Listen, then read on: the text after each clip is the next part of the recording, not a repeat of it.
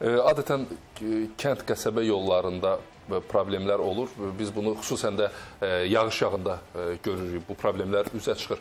E, Bununla bağlı bir e, konkret plan varmı ki, neçənci ilə qədər e, bütün kənd və qəsəbə daxili yolların e, təmir e, təmir olunması, düzəldilməsi planlaşdırılır? Kənd daxili deyə bilmərəm, çünki kənd daxili ilə bağlı hər hansı bir belə göstəriş yox, tapşırıq yoxdur, amma qəsəbə daxili yollar, yəni Bakı şəhərinin qəsəbə daxili yollarından söhbət gedirsə, bununla bağlı biz 2019-cu ildə işlərə başlanılıb və e, düzdür, bu yollar bizim balansda deyil, yerli icra strukturlarının balansındadır. İcra hakimiyyəti və bələdiyyələrin balansında olan yollardır və indiyə kimi niyə o vəziyyətdə olmasına təbii ki biz Onlar cavab deyil, deyilik, onlar cavab deyildilər.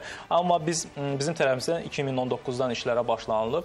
2019-2020-ci ildə hardasa 600 kilometr bu cür yol təmir olunub. Qeyd edim ki, bu cür yolun təmir olunması yolların uzunluğu 2500 kilometrdir. Yəni bu qədər yolun təmirə ehtiyacı var. Bu il davam etdirilib.